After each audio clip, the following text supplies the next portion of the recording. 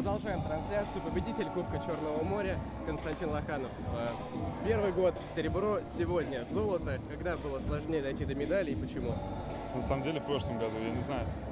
Я когда сегодня очень свободно и легко фехтовал, я не знаю, без какого-либо напряжения. Это не говорит о том, что боев тяжелых не было. Бои тяжелые были, но я как-то воспринимал немного по-другому. То есть я не зажимался, а так спокойно, комфортно фехтовал. Но в прошлом году я прям максимальном напряжении. Еще и обиднее проиграть было, если бы я сегодня, допустим, Итак, проиграл. Когда сложился так ну, достаточно легко, как мне кажется. Уверенно вел, потом немножко подрасслабился. А так соперник хорошо изучил или просто, в принципе, э, умеешь фехтовать с поляками?